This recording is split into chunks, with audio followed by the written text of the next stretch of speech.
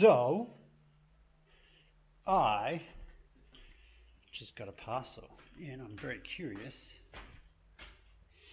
yes, I live in a strange place. Don't mind the hair. And I'm curious. And my colourful hallway upstairs. I ordered quite a lot, so I've got no idea what it is. But let's have a look what it is. Because I think uh, I should be careful with that. Servo motor. My new team radio. I love getting parcels.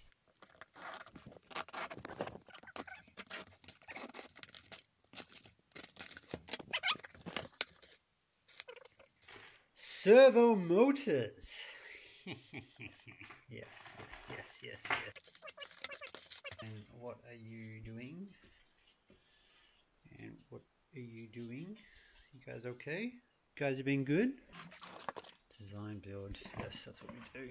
That's what this house is about. So what I ordered is, I won't go into details. I ordered a whole bunch of um, motors to test because drum roll, drum, drum, drum roll, is I think I can have auto lacing in my shoes. Um, I checked out the torque of these things. They're kind of um,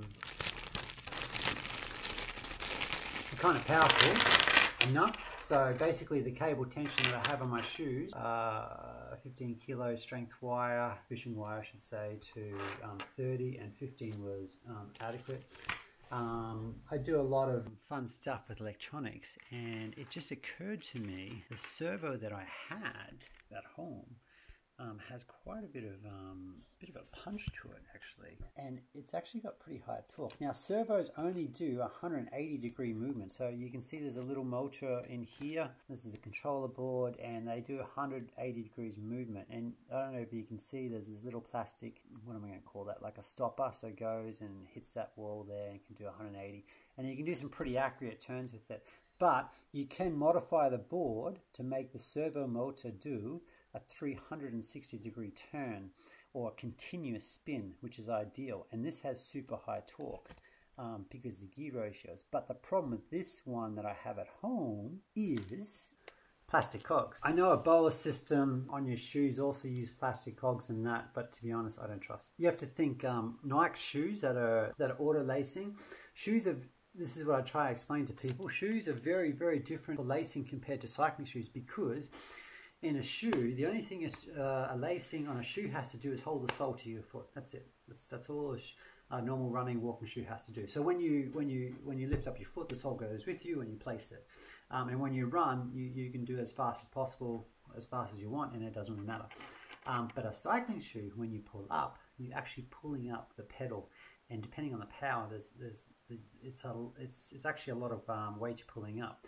So because of that, um, I don't think a standard Nike auto lacing system would work. I did some Googling, tried to see how they were doing it, and um, yeah, I couldn't find it. And I'm not going to fork out 350 euro to rip out rip, rip a pair of those shoes apart. Actually, I actually have a, a pair of auto lacing shoes and, and um, from Nike, not not the normal ones, but I have the the mags, um, and there's no way I'm going to rip these apart. I'm a huge Back to the Future fan, and so, um, but it's not the okay. It's not those ones. It's the the cheaper ones. Um, those those Nike mags on Back to the Future, I think they retail like twenty seven thousand euro. I got the much much much cheaper one. Yeah, so as the amount of force you pull up, I don't trust the plastic cogs. So while I, played around with this servo, it, it, it actually I, I, I, think I, I think I can get it. I think I can get this auto lacing. Well, not auto lacing, but uh, electronics lacing because it'd just be ideal. You put your foot in, and I have these buttons here, and it could be embedded into the sole and you just push one to tighten, one to loosen, and I'm thinking about having two motors inside the shoe to do the lacing at the front and at the back. And if I can do this, then I can have the whole shoe, because my dream, my, my, my dream, my vision with my shoes is to have a seamless, 100% seamless shoe. Now, no, I have a very, very good seamless shoe compared to other shoes, but still on the inside of the shoe. I still have the laces there and I want to get rid of this. And also the flap where it comes in. I want this not to be there. And I won't give all the details just yet how I'm going to do it, but it's going to be totally different and the new design will be stiffer. Because the new design will be lighter. Um, of the shoe and the sole and that. This thing weighs 7 grams. This thing weighs 11 grams. That's a Sidi one. A BOA one, depending the, the mount system you have, is around 11 grams too, but you have to notice uh, realize that it's not just putting this onto it because when you just put this onto sole you actually have to mounting points you got to add up the, the bolt weight plastic capture that you use to catch this and I'll be back and what I mean by that, the thing that holds the system. So this is a this is a, very old design that I did. This is years ago. Um, I just 3D printed this um, with my 3D printer, and and you can see here holds the Sidi system really well. So there's a there's a hole for where the rod comes out. Um, and then there's a part where the release of the mechanism goes in here. It's a very tight fit and it fits in. And you see the, the hole there and that's where the bolt would go to join the Sidi ratchet system onto my shoes ages ago. So it actually, it, it works. This works really good. Um, no complaints about that.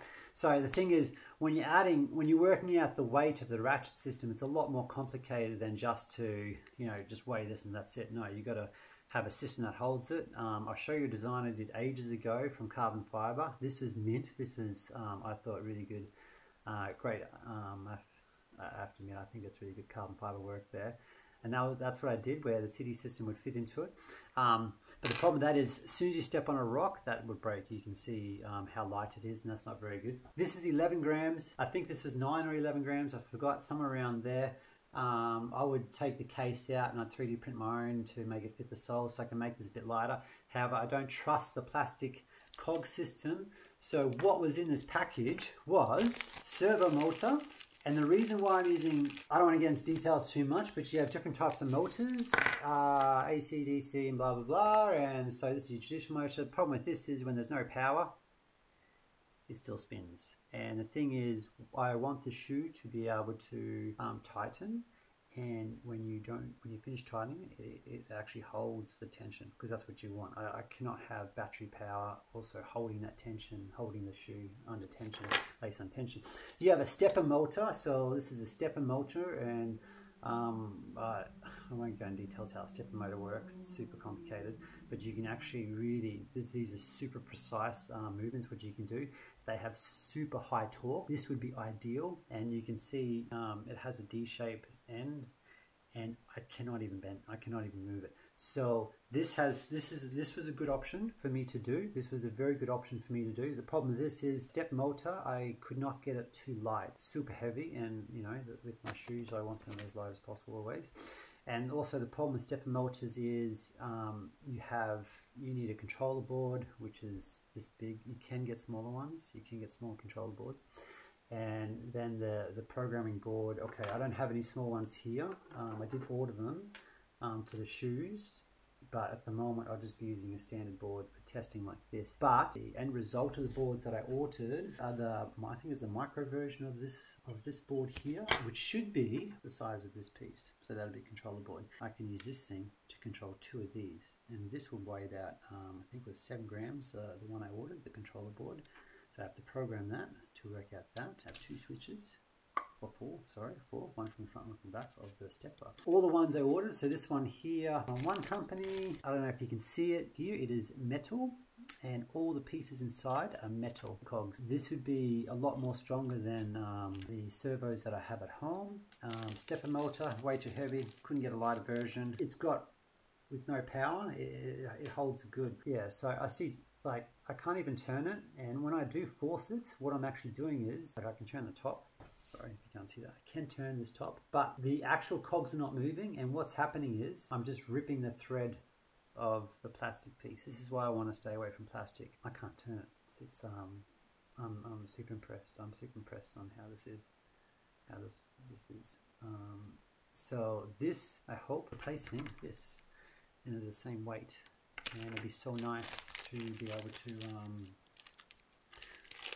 have a nice little button you push and I just um, tighten my shoes instead of having all these laces and worrying about and that. And because the shoes are going in production, the good thing about this uh, coronavirus is I have a lot more time on my hands catch up on this. So I will be working on that and finishing that. So this is a different company I bought of the servos.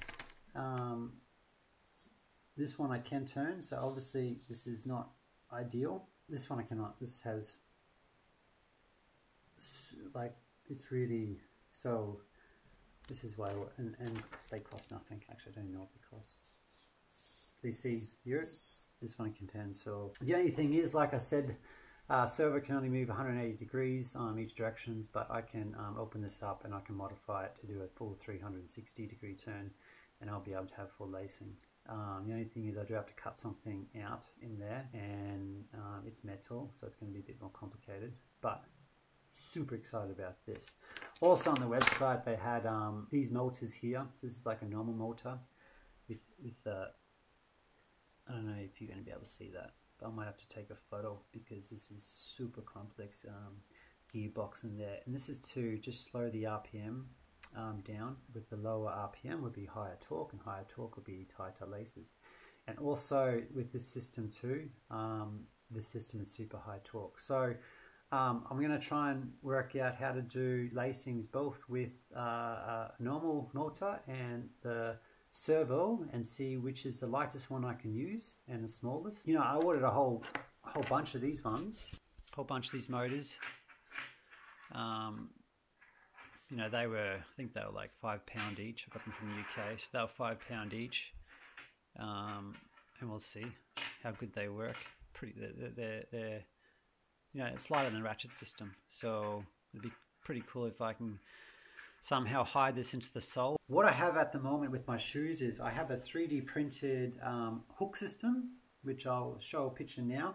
And for me, the hook system works perfect. It works really good. It is super light at 2.7 grams. It trumps um, a system like this. And the good thing about my shoes is because the shoes are molded to your foot, it fits better and you don't have to over tension the shoe. Compared to a normal shoe that's never really, you know, fitted for your shoe, you have to always over tension, over tighten a ratchet point, not to make that part tight, but to make the areas below and higher tight. So with a, a non-custom shoe, there's going to be some points in the shoe where you do have to tighten it um, a lot more than normal. And with my shoes, you don't actually have to have them so tight because of this reason, um, because it's a snug fit.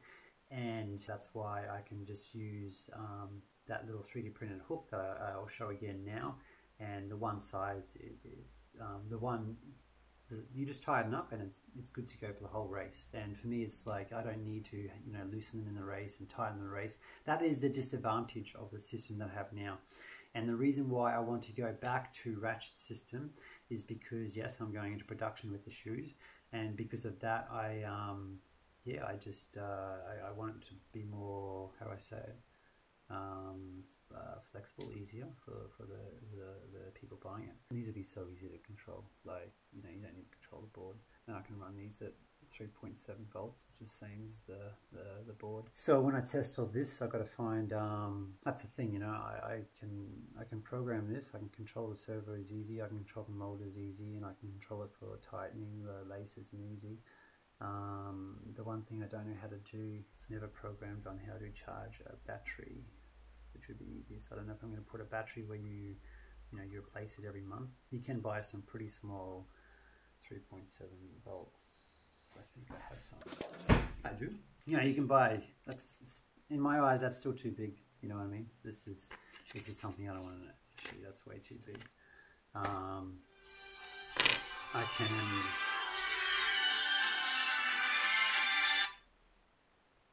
Dobry den. Dobry, depereczko mam prawo. Jo, dobry, sam doma. Tak, So, more parcels. Have to pay for it. Just need my card. So in coronavirus times, cash on delivery, which is pretty cool, but they don't take cash anymore, so you pay by card, which is even better because I never carry cash. And you have to wear a mask when you when you take your stuff look at my babies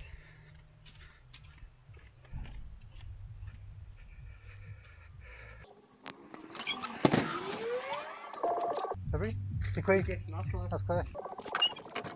Life, coronavirus. Hey dogs, what's going on, huh?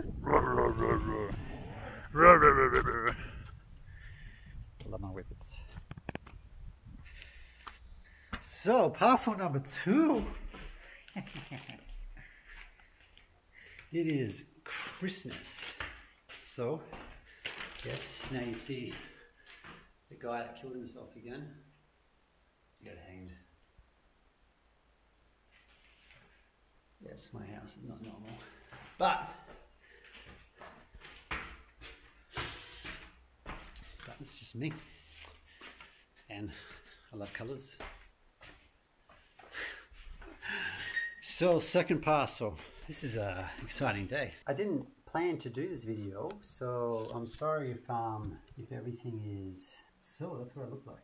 Cool. Okay. Now, problem with the DJI, I, I love it. I really do. The problem with is the screen is so small and the screen is square, and you record landscape, and you just you just you don't know. You, you, don't know what you're recording. You don't know, you know what I mean? Unbox therapy.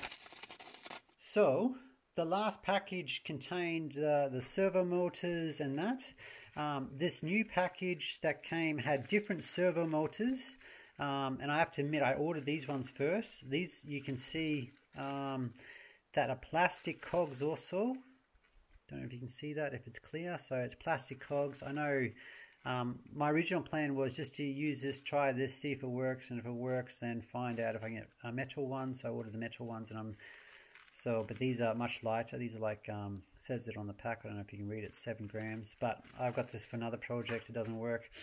Um, what's inside of this? I have because it's USB cable. I think it's a new board.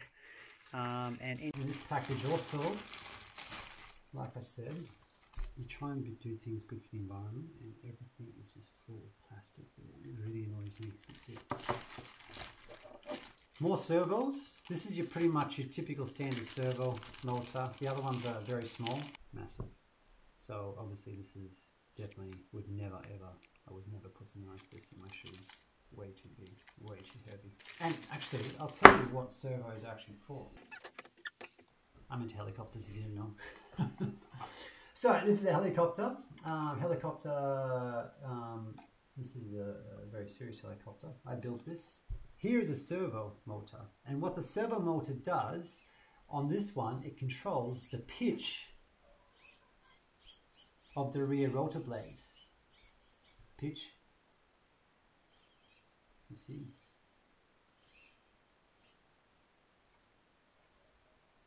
And a little insight, if you want to know, the rotors spin one direction, and because of that, the helicopter spins in, in the opposite direction. And the reason for the rear rotor is to um, count, how do I say it? counteract that spin. Yeah. And depending, um, so when you're flying a helicopter, my helicopter license. when you're flying the helicopter, your pedals control the pitch.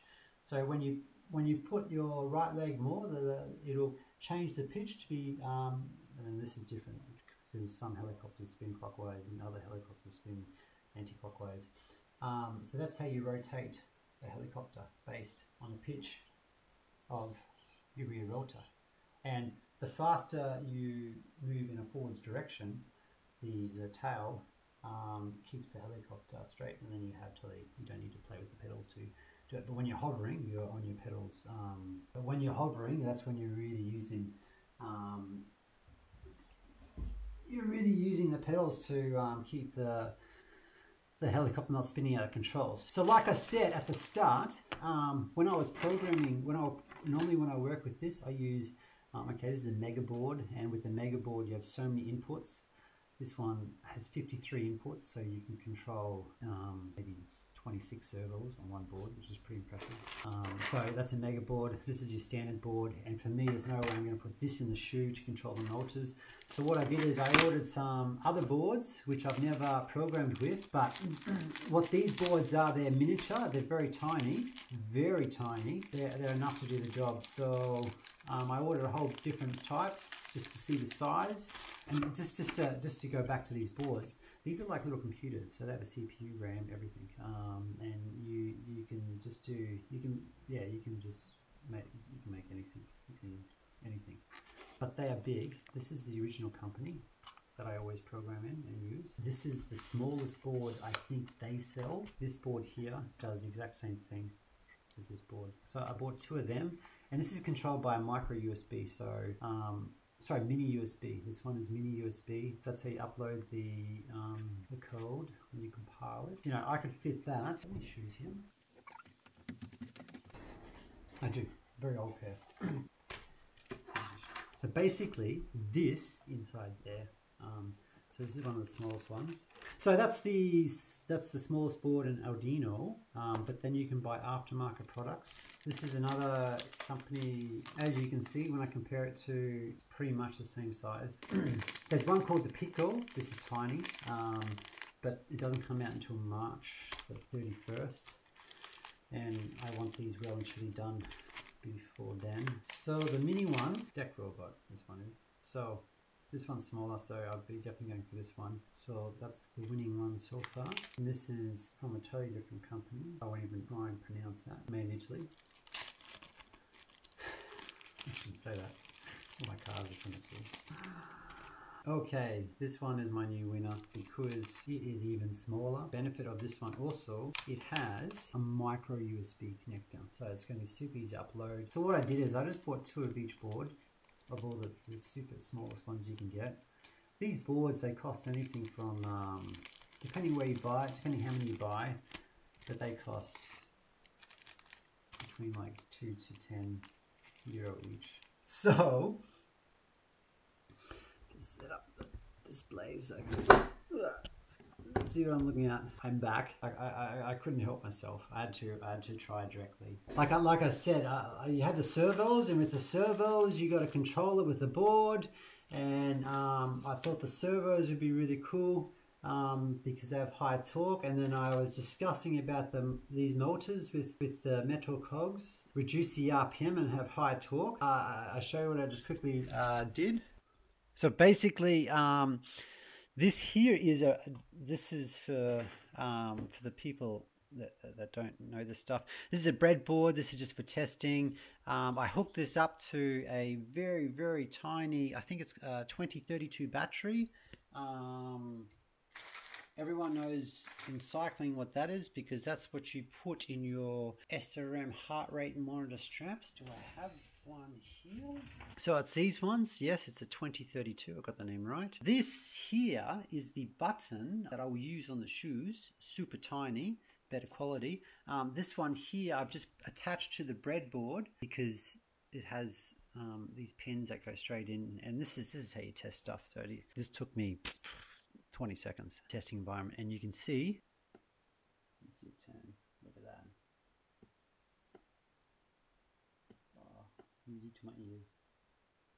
Which is super cool. Um, and just to check the torque, what I'm going to do is I'm going to remove the button and then just make it run um, continuously. Now there's no button and you see the motor going. I'm going to try and hold it somehow without dropping these cables down. And it's, you know, it's as hard as I can hold that is still spinning. So that is ideal. So the little 2032 battery um, spins this little motor. So directly in my opinion I'm not even going to try the servos because with the servos it's they're a little bit more complicated. Um, you have to program them. Like I said you got to use one of these boards. Yes I found super tiny ones. But if I can just um, hardwire it and forget about it um, I could just really just have the battery in these little motors. It'll be interesting to see how long, how many times these 2030 batteries will tighten the shoe and untighten the shoe. So I think what I'll do is um, I will set up a pair of shoes. I will set up the laces on them and I'll time it how long it takes to tighten the shoe. So let's say it takes 15 seconds. Work out, okay, it takes 15 seconds to tighten the shoe, 15 seconds untighten the shoe, and then I'll just unclip um, this wire here and then I'll just put this wire here And like you see there, it is just spinning. And I'll put it, I'm not going to watch it, I'm going to put a, a camera on it and I'll measure and I'll see how long it takes to reduce the whole battery life of this. And then I'll just divide that time by the amount of time it takes to do the laces and that's how many cycles I can get from one 2030 battery. I'm not going to test this battery because this battery is an old battery from a heart rate monitor strap. So what I'll do is use one of the new ones and then um, I'll work out how much time it would take to deplete a battery. This is so cool. So I thought just to uh, complete this this video, I quickly ran downstairs into my workshop, and what what I what I want to explain was, um, so this is this is uh, just a prototype shoe I made years ago. This is a super old shoe. Uh, actually, it must be four or five years old actually. And this is what I meant by the the mount system. So this system here is the Sidi one, and as you can see, I made it from carbon fiber. This this um, strand here, and it's it's works really good, works perfect. And how, how it works is um, you basically put the lace of the Sidi through this part.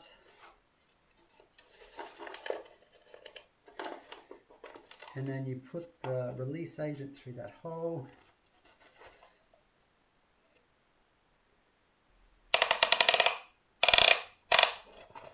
Works out should be release you like the Sidi I don't know if you guys remember this old design you hold it and you pull it and it works like that. So once again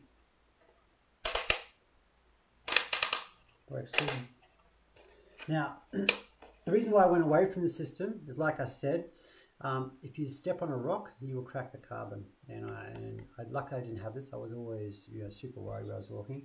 Um, and but this was the lightest system I could do before I went to my 3D printed one um, and you know these things these things are not they're not super light. Now my 3D printing one is 2.7 grams. I actually don't have they're downstairs, but I just I'll just show you the, the weights of everything just to just to get an idea. So here are the scales. Um, turn on, and this would be interesting to see everything just to get the numbers. I hope um, you guys can see that well. So your Sidi system was 8.2 grams. The Malta that we just tested was 9.8, so it's one gram heavier. And just the simplicity to be able to put this anywhere in the shoe be ideal. And just to give you an idea of my shoe, so this is this is the whole shoe including the cleats, okay? So that's, and seriously, that's how light these shoes are, that the heaviest point is the actual cleat point. The weight of the cleats and the bolts, should be three bolts and three faces. 32.7 yeah, so this shoe in particular is 63 grams without the um, without the cleat. Actually, be interesting to know the weight of these batteries too. So what's the weight of a 2030 battery? Holy dooly, did you survive that video? That was a lot longer than I thought. So uh, it's, it's, coronavirus season. Um, if you're if you're if you're still here listening, um, thank you very much for paying attention. It, it, um, it actually took me longer to edit than you to watch it, and this happened uh, today, this afternoon, so it's pretty cool. Um, yeah, so it's going to be a fun project, um, and yeah, let me know if you guys think I can pull it off. Um, it definitely won't be happening uh, too soon, but um, it's it's on the list of uh, things to do.